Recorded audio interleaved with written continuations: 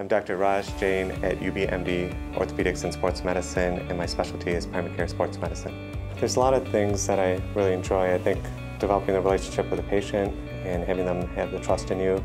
My approach towards patients, I really think it's important to spend time with them, try to meet them at their goals. So what we may have in our mind may not be what they want to do.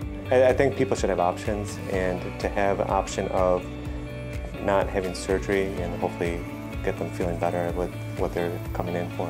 Sports medicine, we tend to see more injuries or acute pain or concussions, and at the college level, I probably see head injuries every week in, in the training room.